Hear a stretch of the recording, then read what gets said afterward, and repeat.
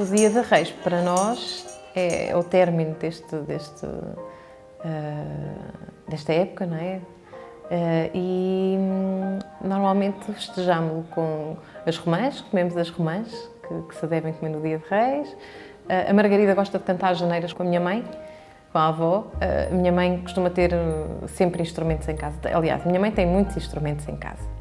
E então gostamos de, de nos juntar e cantam, ela canta as janeiras com a avó. Quer dizer, cantamos todos, acabamos por cantar todos. E é muito engraçado, porque fazemos um jantar de reis